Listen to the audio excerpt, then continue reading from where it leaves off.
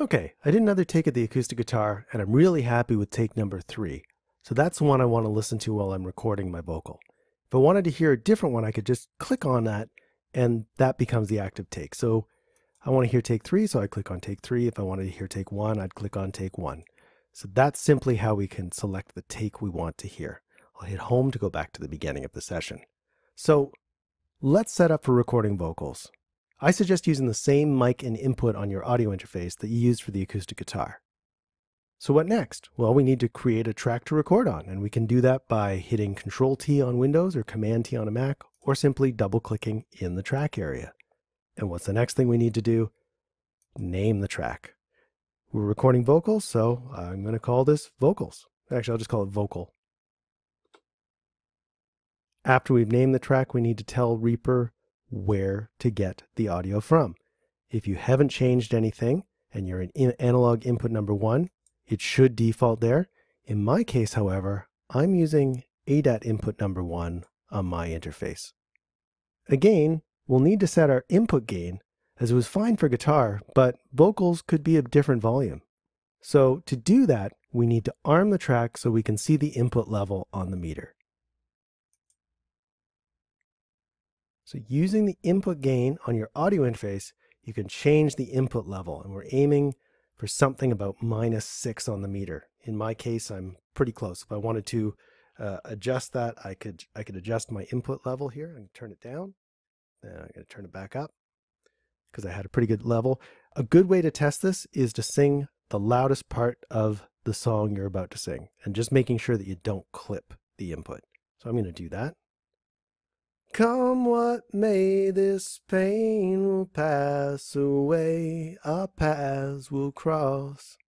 I'm pretty close. I may actually want to clear this. I see I'm at minus 5. I'm just going to clear that. I'm going to turn my input down just a little tiny bit. And I'm going to try again.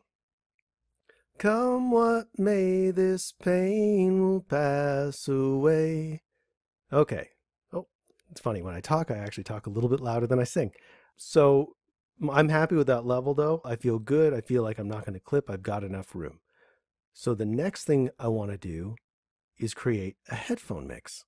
So this is the same process as when we recorded the acoustic guitar. Start by plugging in your headphones into your audio interface.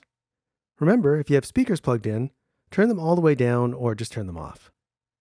This time, we want to listen to the click track and acoustic guitar while we record our vocals. To set up our headphone mix, we'll need to balance the vocals with the tracks being played back in Reaper. To do this, you'll need to either use the mix knob on your interface, turn on your direct monitoring switch, then adjust the headphone volume if necessary, or use your audio interface's direct monitoring software. If you need to review how to do this, go back to the lecture called Getting Audio into Reaper earlier in this section. So now I'm happy with my headphone mix, so to do a recording, we make sure our track is armed, which it is, and either by hitting the record button here in the transport bar or using the shortcut of Control R on Windows machine or Command R on a Mac, we can get this show on the road. So let's do it.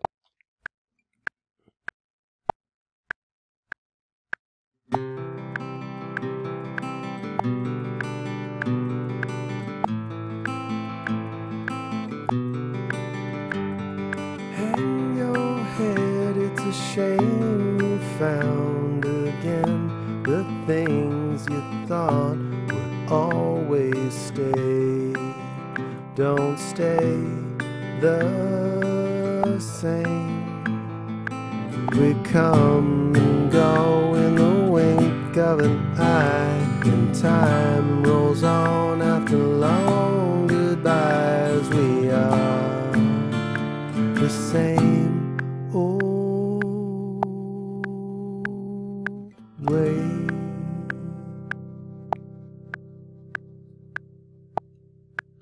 Okay, I'm going to do a couple more takes to I can get something that I'm happy with.